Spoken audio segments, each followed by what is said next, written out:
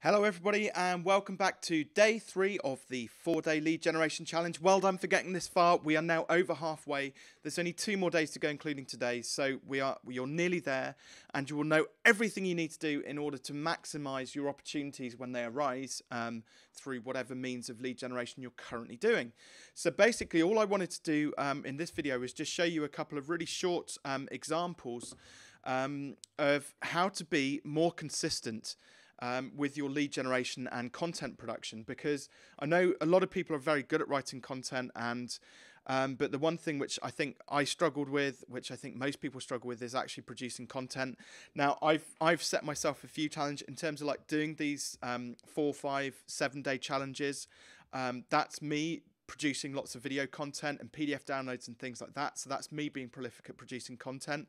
It also means that I have to produce um, content for the Facebook group um, for you guys so that I'm accountable because otherwise I'd be like everybody else. I if I didn't make the promise that I was going to um, deliver something to you once a month, then it probably wouldn't happen. So I have specific ways of making sure that these things um, actually go ahead and do happen. Um, so the first thing which I do is I, I tend to run a I haven't got it with me here unfortunately, but I, I run a um, like a wall planner where I put all of my events, lay all of my events out for the following um, 12 months. So that's for uh, the networking group I run. That's for the challenges within this group. It's for the Q and A webinars. It's for the um, quarterly workshops. So anything which I have to do, I, I first of all plan out um, into a um, into some kind of a wall planner. What I then do is I plug it into my Outlook calendar. So if we, I'm going to show you, just share my screen now, and I'm going to show you what my calendar looks like. But you'll see here, these things in orange, which appear at the top, are the really important things which I've got coming up. Um, so for example, the content for the group, so the webinar Q&A and StroudNet. Um, I've also got my days when I'm filming. So there's that's me filming the next five day challenge. And then a week later, you'll see that then the five day challenge is delivered here at the end of June and heading into July. So um, so that's kind of um, how I how I manage my time. Uh, one of the key things to remember through this, though, is it takes um, 30 to 60 days to form habits. So it's taken me a long time to get to a point whereby all of these sorts of things in here have become sort of habitual. Um, and uh, there are a couple of other tools which I um, which you need to kind of grab hold of, and I know a lot of you use these tools, which I recommend already. Um, but you need a very simple to-do list application. So the one I use is called Todoist. Um, and basically, I put in reminders. You can see here there's a, a tiny little whirligig just next to my expenses, for example. Um, now, I know this isn't content, um, that's not content related um, or lead generation um, related per se. But basically, what you can do in, in, in Todoist is say um, content production every day. And they, it's highlighted it as green, and you can tell it to ignore Saturdays and Sundays, um, and then add the task. And so what that'll do is it'll put a daily reminder in into Todoist. It'll also send me an email, um, uh, a list of all my to-do items in an email summary at five o'clock every single morning. So the moment I'm I'm ready to kind of start attacking my to-do list, and you'll see things like I've got in here. So I've got a LinkedIn post that's every three days, I think it is. Video for Instagram once a week. Uh, Instagram post every three days, and then there'll be other things like which will pop up in here as well. And these are all just basically to remind me to log into those various different applications. Now, all I've got to remember to do, and this is the crux of it, this is the thing I want you to remember. All I've got to do when that email comes through into my inbox in Outlook is remember to click on the view in Todoist option. That's it. And if I can do that every day for 30 days, I know that I'm a step closer to being more consistent at producing content and getting more leads. Okay? Now, the good thing about content is you want, if you produce evergreen content, it leaves a digital footprint. So you do it once and it can work over and over and over again. So you imagine it's not just a straight line of content basically being produced and going out. In terms of the impact it has, it's exponential. As you add more content, it gets more it works harder and harder for you.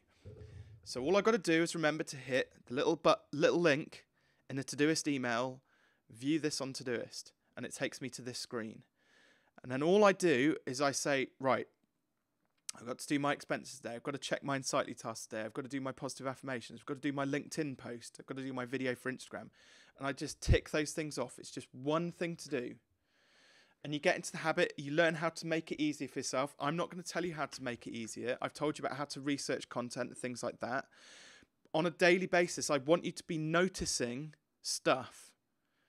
I want you to be noticing things about your business and your clients and stuff like that that you could potentially write about and then in here, underneath where it says LinkedIn post, you could add a comment. So write a post about lead generation. So that next time that pops up in my Todoist, I can go, ah, I've put something in there. Write a post about lead generation. Excellent. And then once I've done it, delete it and tick the task off. And that is it. That's all you've got to remember to do. There's another couple of tools which I also use in order to make my content better and to help me do it more consistently. So the first one, um, you may may or may not be able to notice it, but um, down in the bottom, down here, there's something called Linked Helper. And I don't know if you noticed in one of the earlier videos, as I was scrolling through, if, for example, like on this one, you've got 27 likes, you can add those likers to Linked Helper. Okay? And then what you can do is send them a message. Hey, I saw you like that link, um, that post which I put out there about the yes problem. Um, here's a download sheet which I've created for it. So you could send them another piece of content via LinkedIn Messenger using using likers. Um, so uh, using the add likers to linked helper function. Uh, and there's loads of other cool stuff which I'm not going to go through today, but linked helper is a great way of building your connections and making best use of your content. So that falls into the follow up camp. So I'll be talking about that a little bit more in the next video of why that's important. Um, the other thing which you'll notice, there's a little um, TubeBuddy icon in here. And if I actually click into one of my videos, which I've produced or reproduced, um, it pops up with this TubeBuddy best practices. So now I'm not just producing content and we'll show the completed ones. I'm not just producing content on a regular basis, but I'm actually producing high quality content because it's in, I've added my videos to a playlist, I've captioned them, I've added tags, um, I've added end screens, I've added info cards, I've uploaded a, a high res thumbnail, my characters are right length, I've turned on monetization. So you can start to see that this content is is going to be of a consistently high standard. So it's not just about producing content prolifically, it's producing high value content that's going to help people.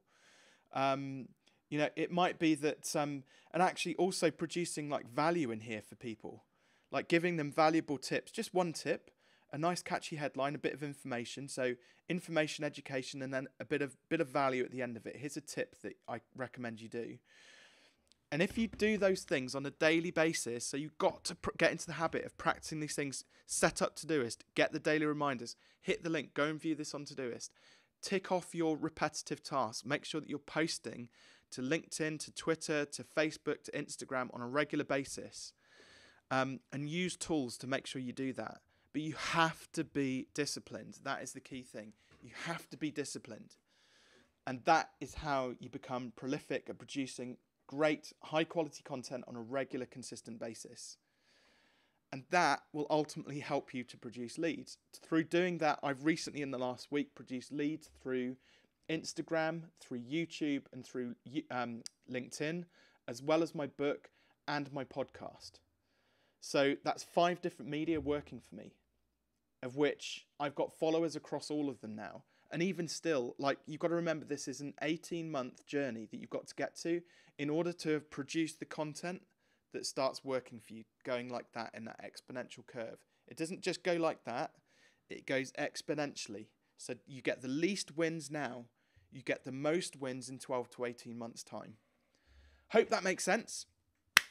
So uh, tomorrow's video, uh, day four of the four-day lead generation challenge, we're going to be talking about follow-up and how important that is. I'm going to show you a couple of tools, kind of touched upon it with Linked Helper, but I'm going to show you a couple of other tools which I use in order to help me follow up.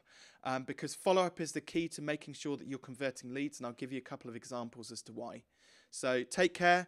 See you tomorrow.